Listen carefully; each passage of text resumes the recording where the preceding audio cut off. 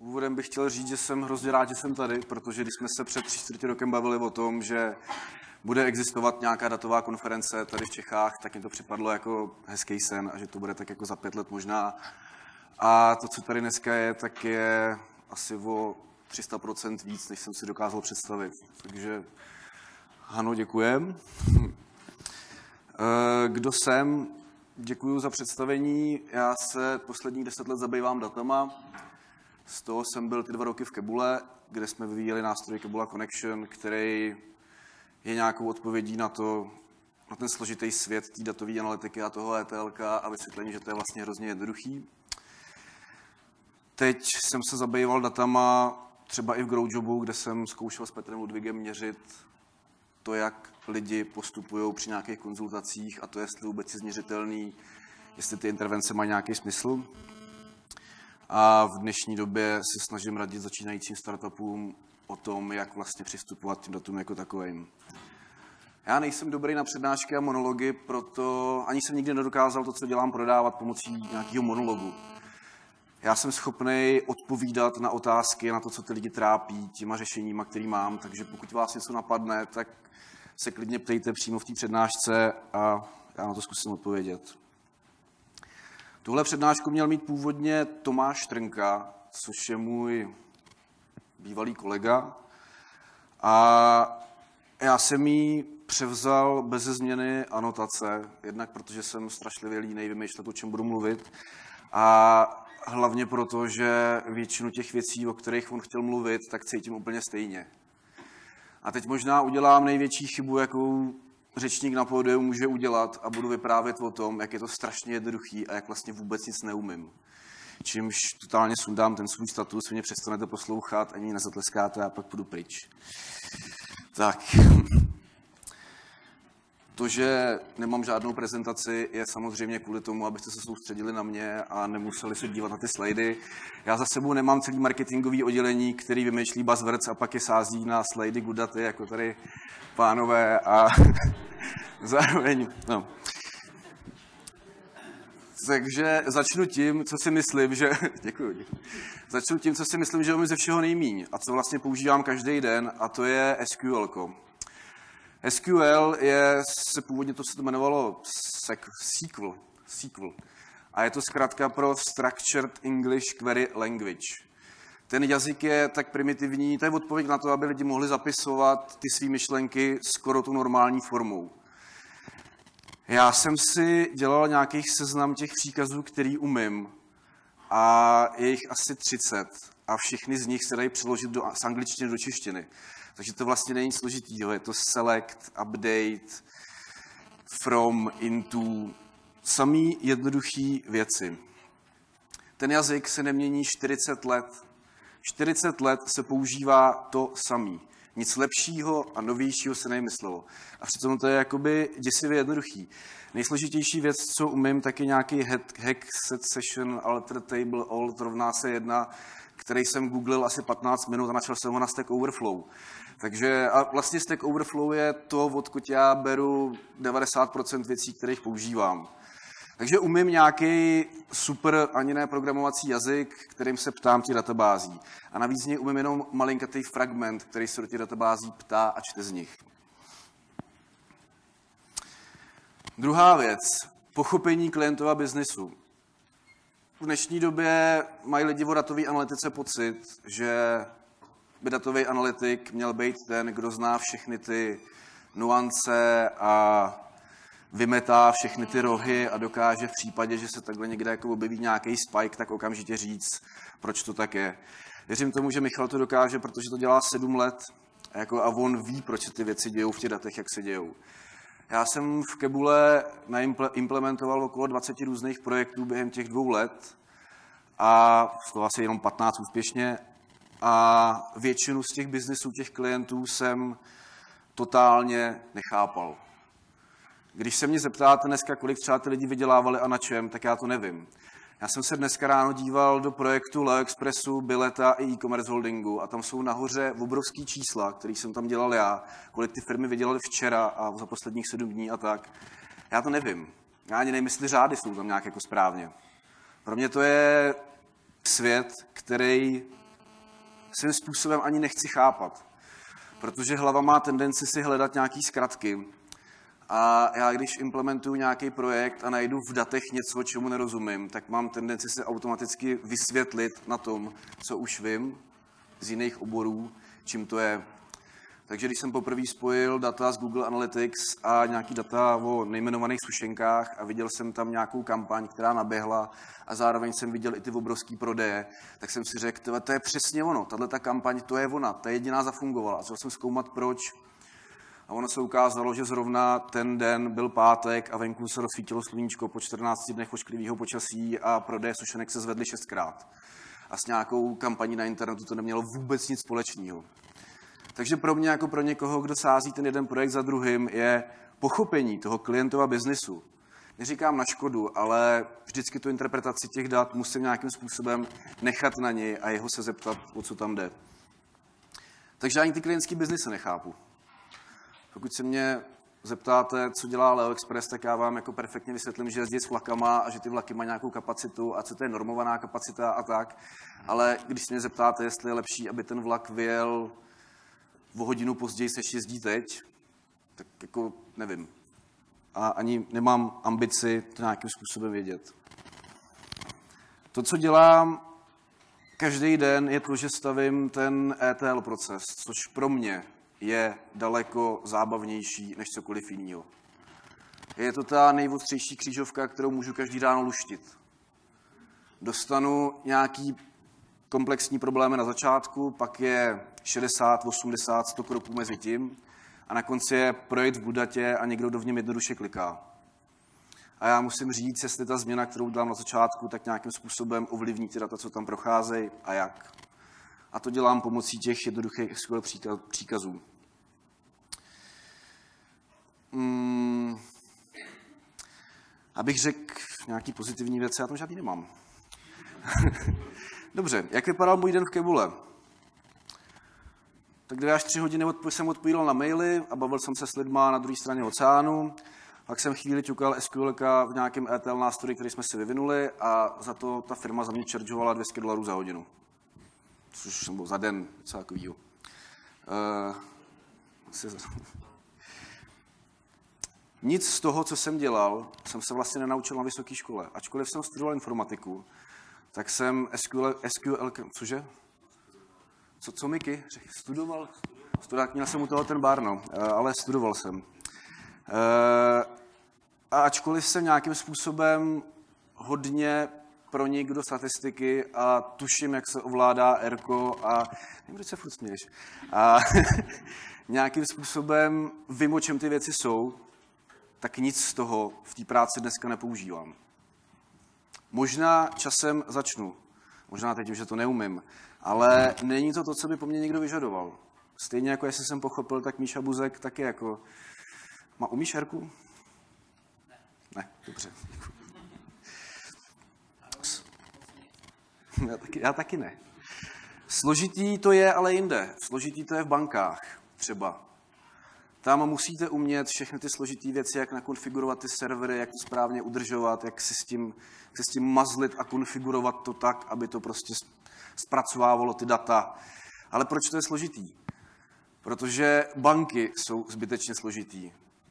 A protože banky trvají na tom, aby to bylo složitý. Ono to je hrozně jednoduchý.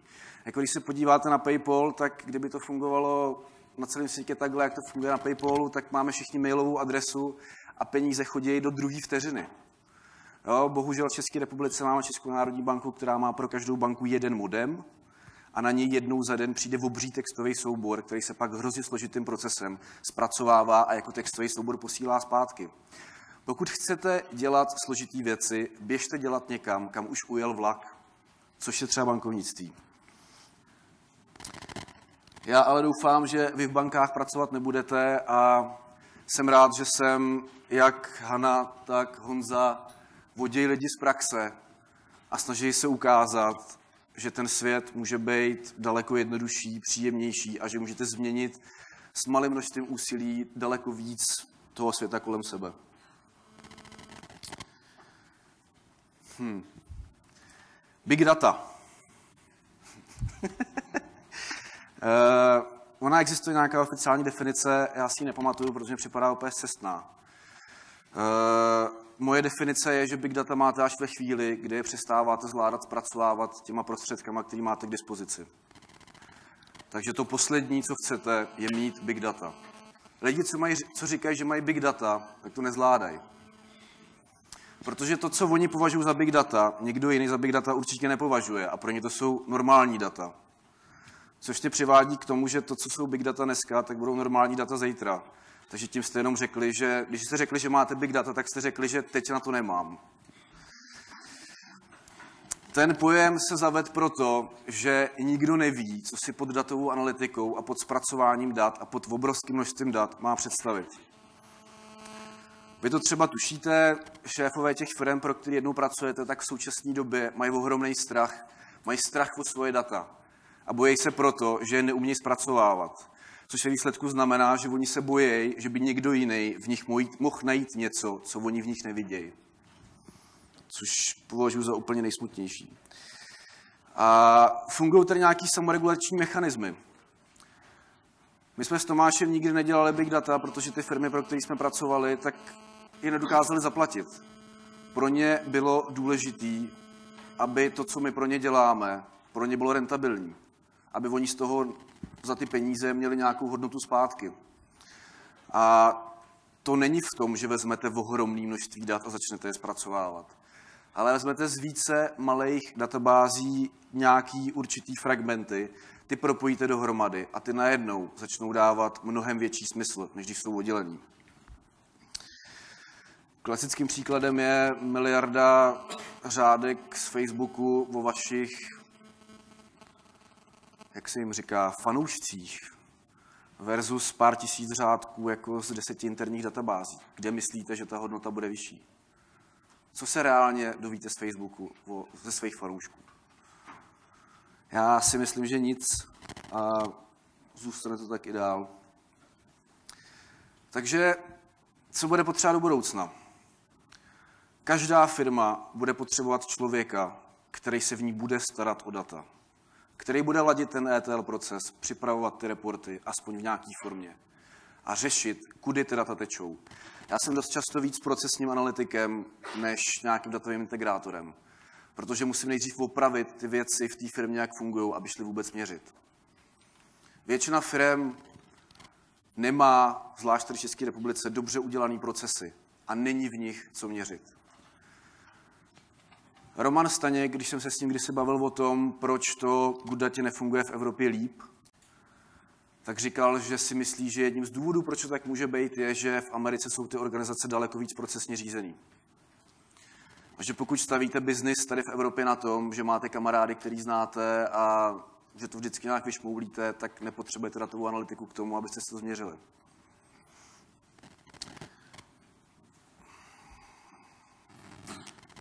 Budou vznikat firmy, které budou mít datovou analytiku dřív, než poběží jejich vlastní biznis. První vlaštovkou pro mě byl Tomáš Čupra a dáme jídlo, který ještě předtím, než vůbec začal stavět tým, tak byl s Kebulou dohodlej o tom, že bude dělat analytiku a že mu postaví celý ten projekt.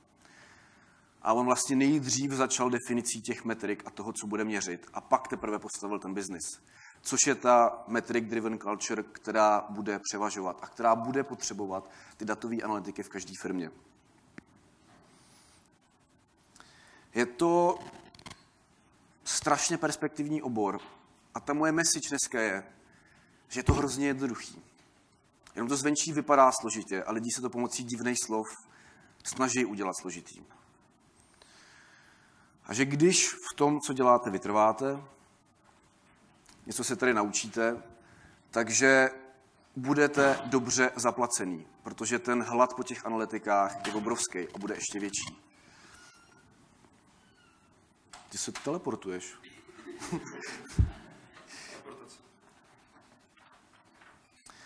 Furt dokola jsem přemýšlel, co vlastně je to, co já umím.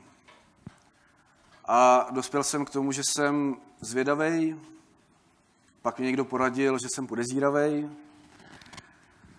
že mám nějaký abstraktní myšlení, že mám kritické myšlení, že mám fantazii a že se neustále ptám proč což jsou věci, které jsem se naučil interakcí s okolním světem a tím, že jsem chodil na takovýhle akce, tím, že jsem poslouchal lidi chytřejší než já a tím, že jsem nějakým způsobem neustále spochybňoval, jestli to, s čím pracuji a to, co dělám, je to nejlepší, co může být.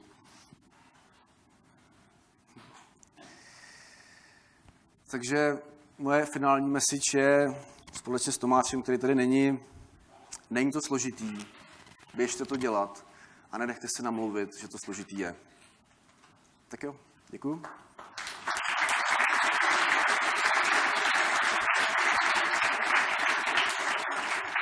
Já ti moc děkuji, Vojto. V podstatě se ti povádlo docílit toho, čeho jsi chtěl docílit, a sice, že teď máš velký prostor na ty dotazy, takže druhou polovinu přednášky budeme odpovídat dotazy. A do začátku bych vlastně chtěl poděkovat obou naším řečníkům za tu skromnost. Je to taková typická vlastnost datového analytika, jak můžete vidět. Oni nic neumí, všimněte si. Jo? Oba tady s tím letím začali, což je což je paráda, to se dneska moc často nevidí. Tady tohle to uvidíme, jestli to v tomhle trendu bude pokračovat, nebo jestli se to zvrtne. A vlastně k Vojtovi, já jsem se strašně těšil na tvoji přednášku, protože jsem jako netušil, co bude. Takže jsi mě opět překvapil, což bylo paráda. A chtěl bych se tě hnedka zeptat, jako na první věc, proč vlastně tu datovou analytiku děláš? Dobrá otázka. Uh, já mám hrozně rád pravdu. A k tomu, abyste mohli říct, co pravda není a co pravda možná je, tak potřebujete hodně informací, které musíte neustále analyzovat. Takže já se vlastně neustále hrabu v nějakých informacích a snažím se přijít na to, jak to zpracovávat tak, abych to pochopil a abych byl schopný destilovat to, co ta pravda může být. A když se člověk jako hrabe v těch informacích a jde okolo business intelligence, tak jsem se jako seznámil a říkám, to by mě možná bavilo. A pevně věřím tomu, že dobrý informace ve správnou chvíli dokážou brutálně ovlivnit a zjednodušit rozhodování lidí jak v osobním životě, tak v biznisu. A to je důvod, proč hledám ty nejjednodušší metody, jak se k ním dostat. Jestli to takhle stačí. Díky, mě to stačí. Ještě bych měl jednu otázku, než se dostaneme k publiku. Ty jsi tady několikrát zmínil ETL. Hmm. Můžeš tady tak jako pro všechny říct, co pro tebe znamená ETL. On si pod tím taky každý může představit něco jiného. Pro mě to jsou strukturované data, které mají něco společného s těma jinýma datama a jdou nakombinovat tak, abych v nich něco viděl. ETL je zkrátka pro Extract, Transform and Load, to znamená vytáhnutí, zmešování těch dat a nahrání do jednoho místa. A pro mě je tohle ta královská disciplína. Věřím, že jsou data scientists, který třeba v Google, v MATLABu vymyslejí daleko hustší věci než já.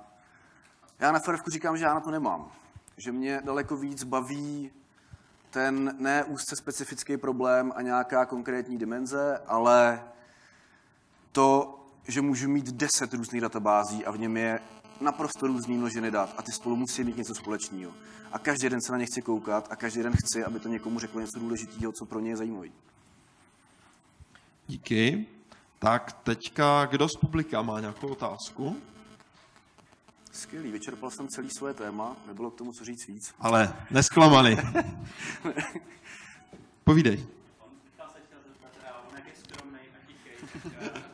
Má krásný oči. Jaký používáte v Rockaway pro analýzu dat?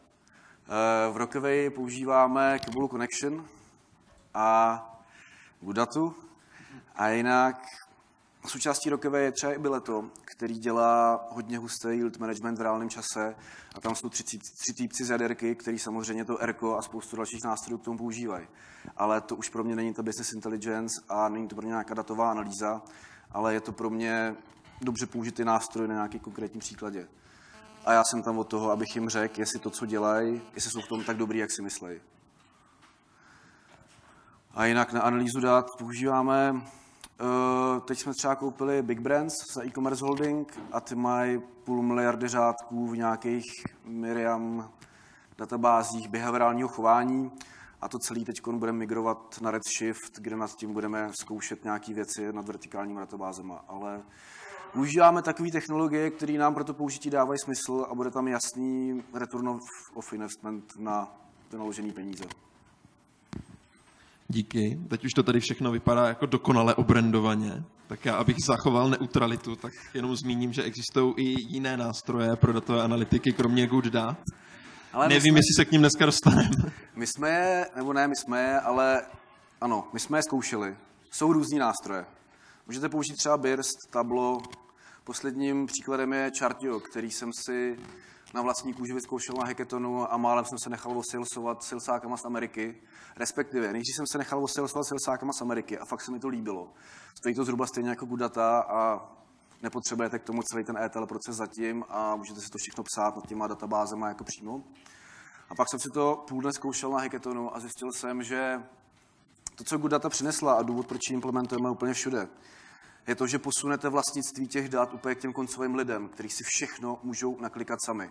A i když my s Michalem dobře víme, že to tak nikdy není a 90% lidí konzumuje mailové reporty, kterým z toho chodí, takže je Good Data vlastně jenom největší BI mailingový server na světě, tak e, ta možnost, že aspoň těch 10% nejsou ajťáci a jsou to lidi z biznesu, kteří tomu biznesu rozumějí, a který, když mají nějakou ideu, tak ji můžou iterovat tak dlouho, dokud si neodpovědějí, je hrozně silná.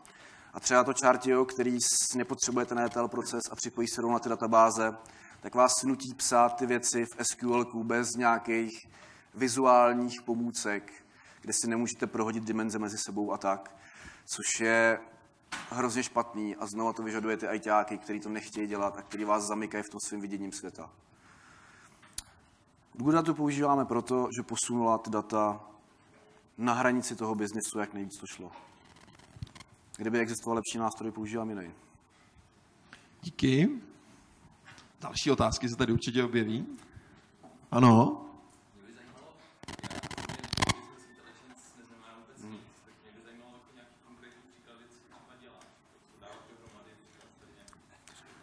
Takže otázka je konkrétní případy business intelligence, aby jsme všichni věděli, co si pod tím máme představit. Business Intelligence. Já si teď jsem se přeměnil na LinkedInu, už jsem Director of Business Intelligence. Je to delší, vypadá to líp. Se omlouvám, to sobě dneska ráno ale, ale já vlastně jako nevím, co to je Business Intelligence. je to, uh, je to, jsou to informace o firmě, které můžou nějakým způsobem ovlivnit její rozhodování. Takhle to, vzní, takhle to vnímám já. Nějakou podkapitolou toho je třeba Competitive Intelligence, což je sbírání informací mimo tu firmu. Jenže tahle hranice už pro mě jakoby taky přestává mít nějakou přesnou definici.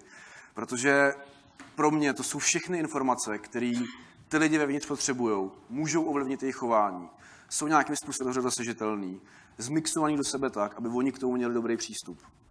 Takže já, moje, jakoby můj proces té implementace business intelligence v jakýkoliv firmě začíná tím, že chodím po lidech a ptám se jich, jak poznáš, že jsi úspěšný. Máš nějaký KPIčko? Je nějaký číslo, který je tvoje? Key Performance Indicator. KPIčko u nás v Čechách ne, ale v Americe je běžný, že každá pozice má jedno, dvě, tři KPIčka. Pro šéfa marketingu to bude třeba počet nových zákazníků, pro šéfa salesu to bude počet objednávek nebo revenue za měsíc. A teda, a teda, a teda. A každý v té firmě má nějaký KPIčko. Skoro každý, ženský z public relation asi ne, ale každý ho tam má. A já se ptám těch lidí, kde jsou ty jejich KPIčka a pak jdu potom, kde seženu ty data na to, abych jim to jejich číslo mohl zobrazit. A ve chvíli, kdy oni vidí to svoje číslo, tak se dost uklidnějí, protože najednou vědějí, jestli jsou dobrý v tom, co dělají, nebo ne. A jestli se zlepšují a o jak moc. A mají nějakou zpětnou vazbu v té realitě. A když za nimi někdo přijde a řekne jim, ty dostatečně nepracuješ, tak oni jim řeknou, ale já jsem zvedl těch počet zákazníků za poslední dva roky na dvojnásobek. Jo, takže to je pro mě ta business intelligence, ty informace tomu biznisu, což je kdokoliv, kdo se na něm podílí.